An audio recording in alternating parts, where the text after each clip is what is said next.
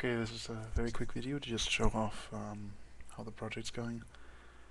Um, I've got an array of LEDs going on here, um, a bunch of Java and C code uh, running on this little microprocessor, and I can hit a keyboard button. Oh, let me run the program correctly first. Um, I can hit a keyboard button. Let me show you guys here.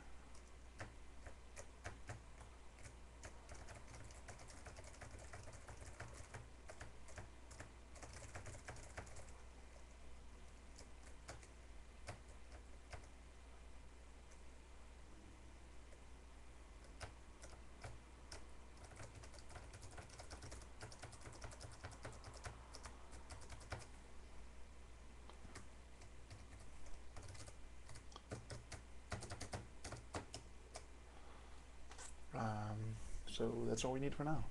I'll get it onto the guitar pretty fast. Alright, peace.